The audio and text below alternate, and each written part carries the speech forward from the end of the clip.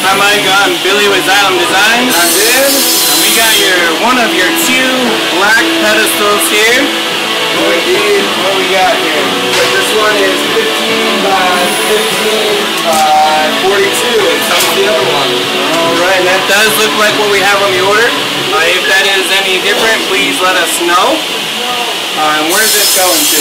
It's going to your address on Fuller Drive in Irving, Texas.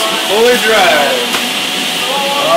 So a lot of hard work went in uh, making of these pedestals and we'd love to see what you're using them for. So when you get it and take a photo, take a video, send it to us. We'd love to see what you're using it for. What you did? Alright, so from everyone here at Xylem Design Pedestal Source, we thank you. Have a good day.